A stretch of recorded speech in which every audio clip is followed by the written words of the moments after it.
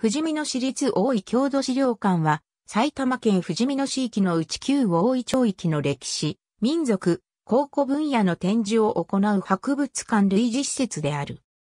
富士見野市立大井図書館と併設された複合施設である。1988年に大井図書館と共に開館した。大井図書館と入り口は同じであり、入って左側へ行くと常設展示室がある。入って一周して入り口に戻るという動線になっている。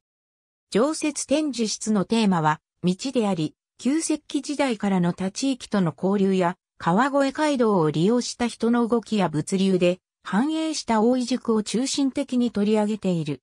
旧大井町域は奈良、平安時代に製鉄遺跡があった他は、弥生時代や古墳時代も含めて、人々の活動の目立った痕跡が皆無もしくはあまり確認できていない。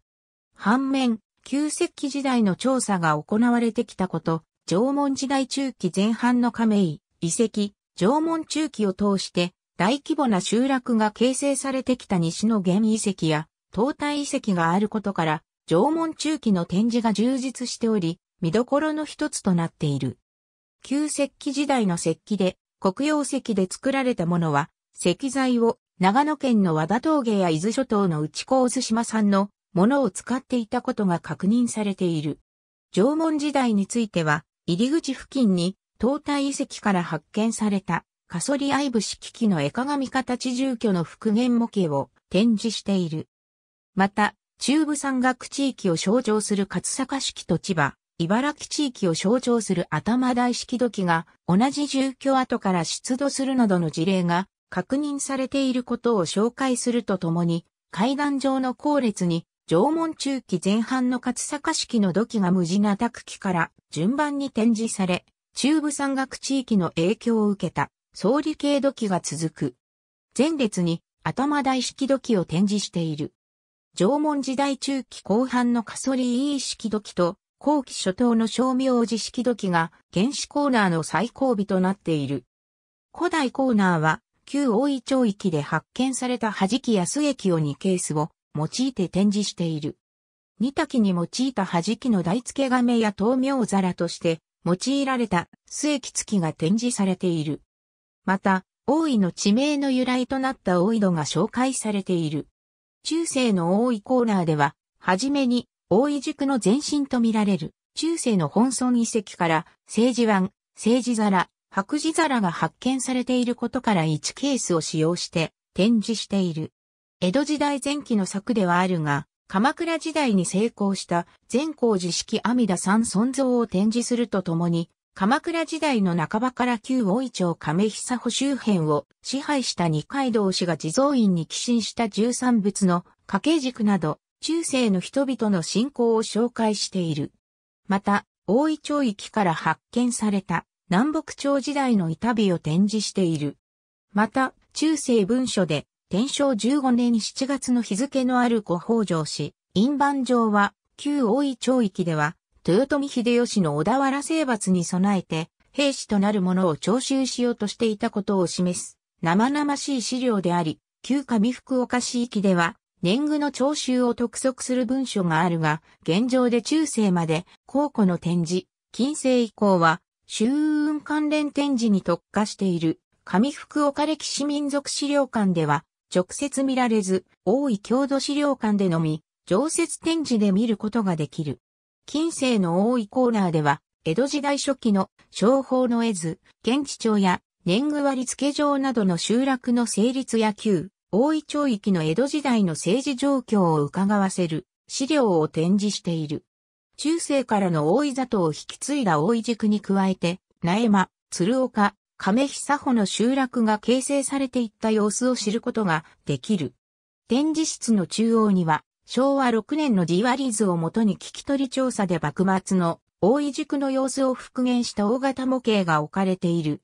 宿場町で使われていた人足札、宿場の中央に建てられた考察、大井塾の本陣であった荒井家で使われた湾や禅などが模型の向かい側に展示されている。武州一揆などの騒乱を防ぐために、旧上福岡市域でも幕末に農兵が徴収されたが、旧大井町域でも農兵の徴収があったことを示す文書が展示されている。近世、近代について、上福岡歴史民族資料館が、周運関連の展示が中心であるのと異なる。常設展示の最後は、埼玉県指定文化財になった武蔵野の畑作農具が一部展示されている。早くから団地建設や市街化が進み、住宅地を離れた低地には水田が広がっていた旧上福岡市域と異なり、旧大井町域はやや標高が高い大地上であること、大井塾以外の市街化が遅れたことから、畑作地が広々と維持された。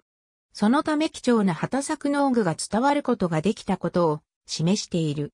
入り口横の展示ケースや入り口から右側の展示ケースは季節展示、ミニ展示コーナーとしてひな人形展、5月人形展、正月飾りなどの季節展示のほか市内の遺跡の発掘調査で出土した遺物を紹介する最新出土品展や口述する縄文土器作り教室で作られた縄文土器を展示する縄文土器作品展のほか、常設展示で紹介しきれない資料を一定のテーマのあるミニ展示や企画展を行うケースとなっている。また成人向き講座として、地域の藍染めを行う団体による藍染め講習会、大学の講師を招聘しての古文書教室などが行われている。子供向け講座として、郷土の伝承遊び、縄文土器作り教室などの事業を行っている。平成20年度の郷土の伝承遊びとして、水引きを使ったストラップ作り、どんぐり細工作り、お手玉を作って遊ぶなど6回の事業が行われた。平成21年度の郷土の伝承遊びとして、ブンブンごま作り、からくり屏風作り、かんぽっくりを作って遊ぶ、どんぐりごまを作って遊ぶ、お手玉を作って遊ぶ事業が行われた。縄文土器作りは、年度紐からの制作を7から8月の夏休み期間に行い、11月に調整する。調整した土器は1月の作品展で展示する。また学者連携事業として10月に市内の小学校を迎えて見学、体験学習を行っている。平成20年度は10回にわたって、平成21年度は11回にわたって、昔の学校と昔の暮らしに関する体験授業が行われた。毎年々1回の企画展を行っていたが、平成20年度の天皇様を最後に、平成21年度は、上福岡歴史民族資料館と交代で特別展を実施するために行わず、平成22年度に特別展として川越街道と新河岸川展を行った。毎年7月から8月に行われる最新出土品展がミニ展示として7月16日から8月28日まで開催されている。主な展示品は鶴岡岩遺跡出土の旧石器と、東大遺跡出土の縄文土器、川崎遺跡出土の弾き、末器である。ありがとうございます。